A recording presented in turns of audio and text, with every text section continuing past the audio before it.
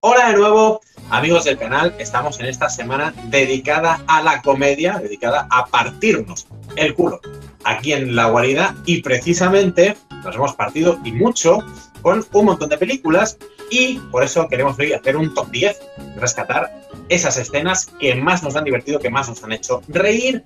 Así que vamos con ello ya con Islam Valles y Daniel Ruiz en la guarida del titán.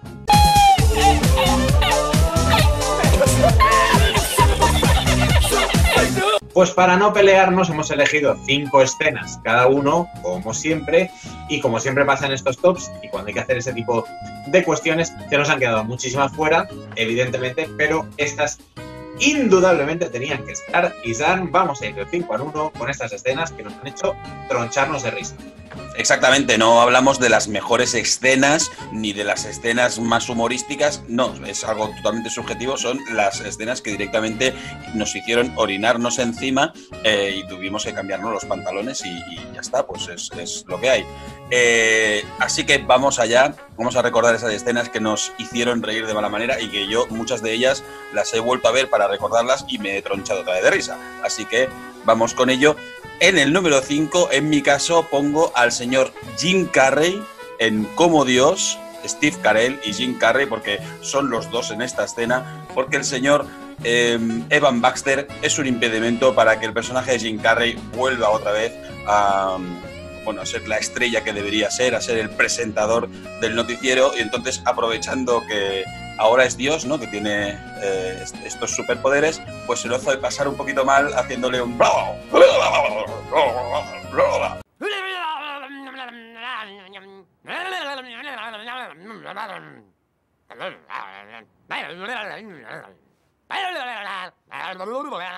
eso, en fin, yo lo puedo ver mil veces que me voy a seguir riendo de una manera espectacular y además es un, como algo muy bonito, ¿no? ese testigo de, de Jim Carrey a Steve Carell, que podríamos decir que es el, pues sucesor ¿no? de, de este slapstick maravilloso que tanto me gusta.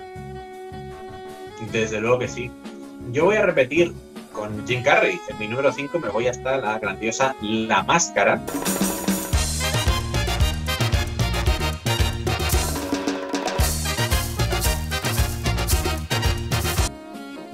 Que es una película divertísima y de la que se pueden rescatar muchas escenas, pero sí, me he quedado con la escena de un baile maravilloso, ese Jim Carrey, ese personaje de la máscara que va huyendo a toda prisa y de repente se encuentra atabado por 10 millones de policías, ataviado con vestuario de ballet cubano, lleno de chorreras y pantalón por encima de la cinturilla, maracas y sombrero, y se pone ahí a hacer un baile en el que acaba involucrado toda la policía, los investigadores, aquello es un despelote y que sirve más o menos para que el bueno de, del personaje de Jim Carrey intente zafarse la situación y vuelcar el ala. Y además es una película donde eh, seguramente eh, el protagonismo se lo llevó en gran parte el CGI de la máscara, que fue pues, la hostia de revolucionario en su momento. En esta escena también me divierte mucho que sea el propio Jim Carrey el que lo da todo bailando y haciendo el, el ganso por toda la escena. Me parece desternillante, me parece una muestra más de todo el talento que tiene Jim Carrey, que abarca pues, bueno, todos los espectros de la actuación y del humor.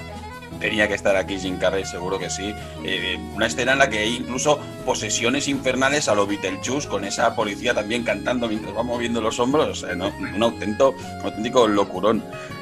Eh, me paso yo al número 4 también con un actor que, evidentemente también nos ha hecho tronchar de risa y, algún apuñalamiento ha habido porque es Michael Myers, claro, no sabemos si es el Michael Myers de la risa o el Michael Myers de los cuchillos gigantes, en este caso es el de la risa, porque en Austin Powers no hacía uno, sino dos personajes y uno de ellos era el doctor maligno, que tenía un hijo con el que no se llevaba muy bien. Y hay una conversación entre el hijo diciéndole que es un pedazo de cabestro y el padre diciendo se me calle que, dura también un rato y no para de decir animaladas eh, todo esto gracias evidentemente al doblaje de, Florentino Fernández, que le dio el puntillo en esta segunda parte, en la espía que me achuchó, que le faltaba seguramente a, la primera, y una escena que ya puedo ver también mil veces, que me seguiré riendo como el primer día.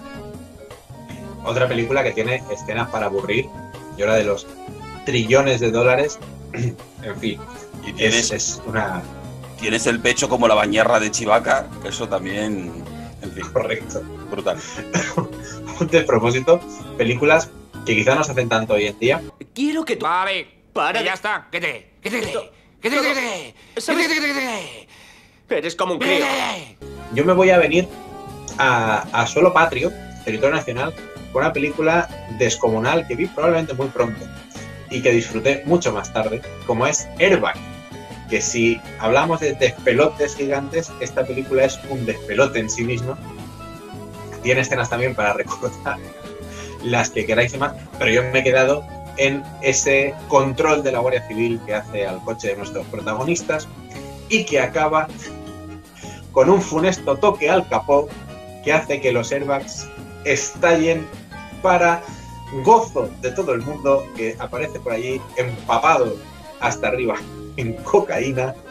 El diálogo es demencial y el final de la escena es más demencial todavía, aunque luego ya mejorará cuando llegan a la boda y el señor Albert Pla eh, también afectado por la cocaína. No sabemos si la falsa del rodaje o no, eh, hace una actuación soberbia, pero ese control de la Guardia Civil y esa explosión de los airbags, sin duda, hizo que me partieran el pecho demasiado pronto y posteriormente, cuando lo he visto de adulto, bastante más. De, de hecho, es una escena que empieza, o bueno, viene de otra escena espectacular que es toda la parte de Pazos en el, en el bar, ¿no? Y que, y que culmina con, con María de Medeiros diciendo tu conducción me pone cachonda, lo que pasa que en, en el subtítulo creo que ponía otra cosa como me, me pone en evidencia o algo así. Como conduces, cabrón, me pones cachonda.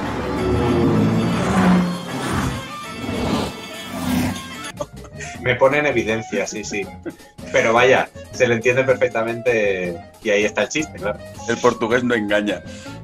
Es, es maravilloso, es maravillosa, eh, se mire como se mire. Y Manuel Manquiña, por cierto, haciendo de pazos, está para quitarse el sombrero.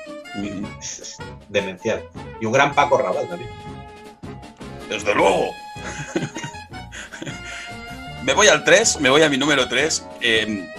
Bueno, esta, esta es, es demencial de, como donde las haya, porque me voy a, a Porky's a 1981. Aquí también hay todas las escenas que te dé la gana, pero es que hay una que me tronché de risa y además creo que es de estas escenas que no vamos a volver a ver en la vida.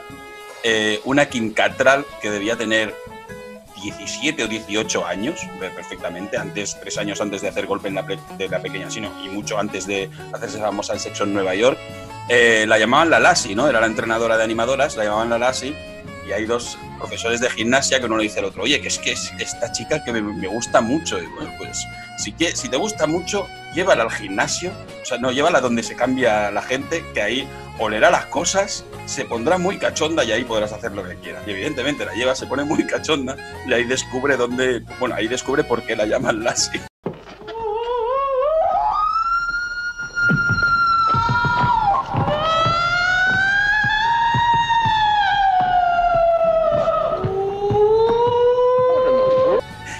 Se pone a gritar como una perra, nunca mejor dicho, mientras está tronchando todo, pero absolutamente eh, todo el mundo que está entrenando en la parte de abajo, con el, entrenador incluido, que se pone ya directamente rojo, se tiene que ir a taparse a, uno, a bueno, un sitio que hay ahí, unas cortinas o algo así, eh, porque no, puede parar de reírse. Es- es- esa escena también es, en fin, la puedo ver mil veces que seguiré llorando de risa. Y es cierto que es extraño eh, ver una escena así a día de hoy. Muy extraño, muy extraño. Yo me voy ahora a mi número 3, a la época dorada del humor realmente absurdo. Y lo voy a hacer, aunque del 3 al 1, las tres películas son de este tipo de humor, que sí, que me encanta, no lo puedo evitar. Me voy a ir con esa parodia de Star Wars, como fue Spaceballs, con ese Bill Pullman eh, Rick Moranis haciendo de casco oscuro. Y no recuerdo quién hacía de Vomito Barth. Eh, ay, se me ha ido, lo pondremos por allí el, nombre del actor porque se me ha ido ahora. Eh, pero bueno, dentro de que también es un gag detrás de otro y es absolutamente demencial, en un momento en el que los villanos tienen que hacer una batida para encontrar, si no recuerdo mal, a nuestros protagonistas, hace un tiempecillo no la veo, se da la consigna de Pain en el desierto.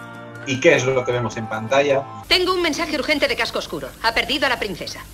¿Dónde? En alguna parte de las arenas de Vega. Dígales que peinen el desierto, ¿me oye? ¡Que peinen el desierto! Sí, señor. Pues literalmente unos peines gigantes pasando por la arena. Es una chorrada como un castillo, pero lo puedo ver 10.000 veces, la película entera, de hecho, como esa maravillosa conversación con Pizza el Hat. Demencial. Y lo cierto es que me parto el culo con lo de Pain en el desierto. Absolutamente, bueno, eh, ahí también escenas las que quieran, ¿no? No, no, le, no le he vuelto a ver jugando con sus muñequitos, también es una de mis favoritas. Recordar que Dafne Zúñiga también estaba por ahí, ¿no? Haciendo de Princesa Leia, y a quien te referías era a nuestro queridísimo John Candy, eh, que hacía de, Vomito. Eh, también era una, bueno, i- imitando, ¿no? A ese Chihuahua, en este caso, en una película realmente espectacular. Eh, hablabas de Mel Brooks. ¿no? Hablabas de Mel Brooks, que de hecho Peina en el desierto, quien lo dice es el propio Mel Brooks, en este caso hacía de emperador. Pues yo me voy también a otra película de Mel Brooks, porque nos, en 1974 yo creo que llegó el culmen de la comedia con este El jovencito Frankenstein de, Mel Brooks y con Gene Wilder y Martin Feldman haciendo de, de Frankenstein, pero antes de que viéramos al monstruo, podíamos ver a, a Gene Wilder en la universidad dando sus clases maravillosas.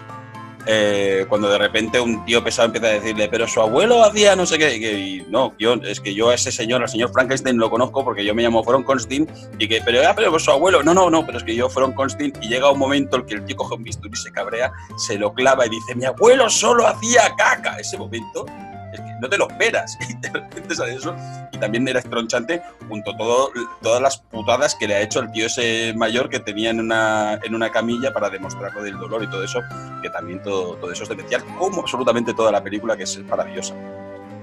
El personaje de Igor es fantástico y el de Frau Kruger creo que era así que rechi- rechinaban los caballos, relinchaban los caballos. Perdón, he dicho Martin Feldman, Martin Feldman no era el, el Frankenstein, tienes razón, era, era Igor Cajones. Era Igor, ¿no? Igor Cajones. Igor Cajones, exactamente, sí, sí. Cualquier trozo de esa película podría estar en este top. Absolutamente brutal. absolutamente brutal. Como cualquier trozo de esta película podría estar en este top, hablamos de Aterriza como puedas. Y dentro de la sarta de diálogos inverosímiles que hay en toda la película, en un momento crítico, donde un Leslie Nielsen muy serio, siendo de médico, eh, va a ser interpelado por una zapata que le dice esta mujer está muy mal, hay que llevarla a un hospital, ¿no? Y la zapata le dice, ¿qué es, doctor? Un hospital. Es un lugar muy grande lleno de camas y gente enferma. Dígale al comandante que hemos de aterrizar lo antes posible. Hay que llevar a esa mujer a un hospital. ¿A un hospital? ¿Qué es, doctor? Un gran edificio lleno de enfermos y a veces no hay camas. Lo siento, pero es superior a mí. Estos diálogos ridículos, con estas salidas que no te esperas, y con un Lenny Nielsen ahí muy en su papel, muy serio, me parece demencial. La película entera es demencial, ya sabéis, eh, niños, si os gustan las películas de gladiadores, o por ejemplo, ver a eh, Karim Abdul-Jabbar enfrentarse al propio niño y luego ser retirado de la cabina con el uniforme de los Lakers. Porque esto, amigos, era otra época y ya sabéis que elegí un mal día para dejar de snifar pegamento. Elegí un mal día para dejar de oler pegamento. ¡Qué putada! Demencial y llegamos al número uno. Número uno, exactamente. En mi, ca- en mi caso, yo creo que la escena que más me ha hecho reír en mi vida, eh, y es que la risa es contagiosa, y en este caso, en esta casa es una ruina. El señor Tom Hanks tenía un muy mal día, se va un momento a la cocina a leer una cosa, de repente enciende la luz, la luz empieza a soltar chispas, las chispas se van de un lado para otro, empieza a reventar todo. Creo que hay un pavo que vuela de, de una punta de la casa a la otra y vuelve otra vez a, a donde está Sherry Long, ¿no? Que están preparando una bañera. Dice, no, tío, yo, yo ya no puedo más. Tiene ahí lo- lo- los, pezones saliendo porque se ha quemado también eh, toda la camiseta. Yo ya no puedo más. Voy a darme el baño yo- y, y el día de hoy se ha acabado. Terminan de llenar la bañera y ¿qué hace la bañera? Despedirse, irse al piso de abajo, destrozarse de mala manera.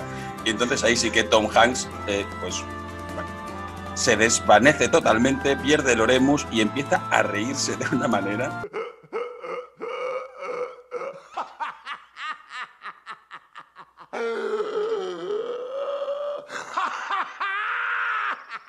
Es espectacular. Eh, por, eso, por más que la vea, me río. Yo creo que hay un momento que tienen que terminar la escena porque la, actriz Shelley Long empieza también a descojonarse y, eso no, no estaba previsto, con lo cual pararon ahí. eh, uno de los momentos más, más mágicos en cuanto a risa que, he podido vivir. Sin duda alguna. Es una, es una película maravillosa con un Tom Hanks al que seguramente, eh, sobre todo quizá un público más joven, no vaya a tener tanto en cuenta por sus papeles de cómicos, sino por sus papeles más dramáticos, pero sin embargo tiene un bagaje cómico muy interesante, si no recuerdo mal, en Saturday Night Live, o incluso en, películas también siendo muy joven, como Despedida de Soltero, que es otra que podría estar segura- seguramente aquí con el famoso burro y todo aquello, ¿no? Pero yo voy a cerrar este top con otra de las grandes, como es Top Secret, con un jovencísimo Val Kilmer, y en este caso, en una escena mitiquísima, como es la escena de la librería, con eh, Peter Cushing, ¿no? Era Peter Cushing, el librero sueco, que está grabada íntegramente al revés, y ya empieza de esa manera descabellada cuando el señor librero se quita la lupa del ojo y vemos que efectivamente el ojo no está aumentado, que es así. Eh, en fin, es un auténtico desmadre. Ese idioma sueco, que no es tal, evidentemente, es la grabación de voz al revés, que culmina más con libros que tiran, encajan. Bueno, es yendo otra hacia película de- atrás de la que también. podríamos elegir muchas escenas, pero esa, es- esa me parece maravillosa. Primero porque es súper divertida, es original, está mm, rodada de, de una manera que sorprende. ¿no? Una mierda para Christopher Nolan. Exacto, exacto. Tenet. ¡Ah! Tenet. Fíjate lo que. Podríamos comentar la escena del, del Anal Intruder o en la de. Informe de de, cualquier cambio en su estado, el agente canta mal, ha muerto. En fin. Me parto yo solo pensando, pensando en la película, la verdad, porque tiene un detalle detrás del otro. Es absolutamente maravillosa. De hecho, tú- en tu número 2 y en tu número 1 has cogido dos películas de los mismos directores que son David y Jerry Zucker, Aterriza como puedas y Top Secret. Es un, es un tipo de, de cine que nos encanta y que echamos muchísimo de menos. Desde luego que sí, iban eh, a tope de drogaína, suponemos, porque, es decir, no, no los directores, sino incluso imagino los productores, porque finan- financiar películas así a día de hoy me parece demencial. Pero por cierto, eh, dentro de este top, eh, que ha quedado muy variadito, cabe destacar, Isan, que hablaremos de algunas de estas películas en profundidad y de otras muchas comedias el viernes. Exactamente. Exactamente, el viernes eh, cine de comedia, 12 películas, dos invitados y además intentaremos hacer la mejor comedia de la historia sacando directores, guionistas y actores y actrices de todos los lados. Hay que decir que es una lista súper variada donde tendremos lo mejor de lo mejor, señor, con honores de la historia de la comedia. Es una auténtica maravilla las películas que hemos elegido.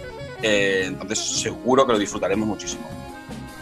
Desde luego, y aprovechamos ya para decir, si estáis viendo este vídeo, el día que lo colgamos, que el próximo vídeo será la entrevista con otro crack del humor.